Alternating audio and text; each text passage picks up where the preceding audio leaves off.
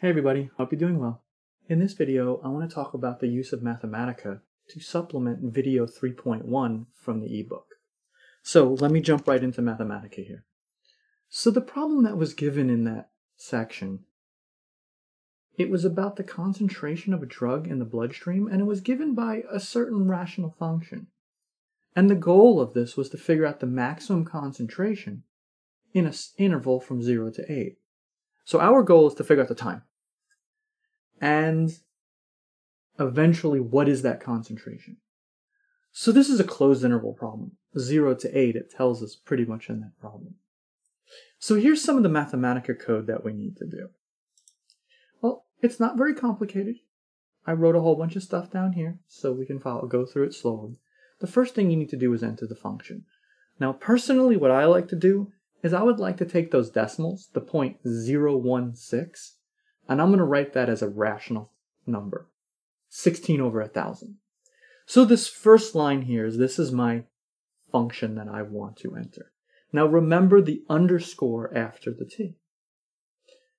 Since this is a rational function, and I eventually want to figure out critical values, I want to determine the domain of this thing. So the only values of t that we need to consider are values between 0 and 8. So anything that lands outside of that, I'm not going to worry about. So if I evaluate this cell, and this is a pretty big cell, I have a whole bunch of stuff in the cell.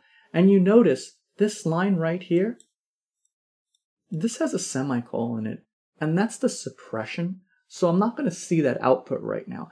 All I want to do is see what makes the denominator equal to zero, because those are the values we don't want.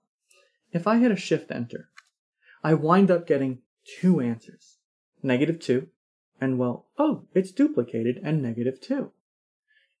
Is negative two between zero and eight? It is not. So I don't have to worry about critical values that produce an undefined first derivative. So I'm going to go and comment this up. I'm going to suppress it with the semicolon. Now, critical values. It's where the derivative is equal to zero or undefined. We already dealt with the undefined part. There were no values of t in between 0 and 8 that made c prime undefined. So I need to figure out whether the derivative is equal to 0. I added a little bit of extra code in here to say I am going to only look at values between 0 and 8. Again, if I get rid of that semicolon, I will actually see the result of that line.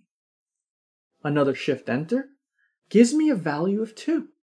2 is between 0 and 8.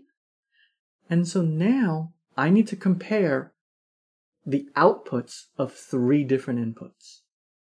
But wait, there's only one value that we see there, which is a 2. Remember the closed interval method? You need to consider not only the critical values, but the endpoints as well. The endpoints 0 and 8. So I want to determine the largest output here. So let me do a little bit of typing. Output. Well, that's C. C is the concentration. C is the output. What are the inputs?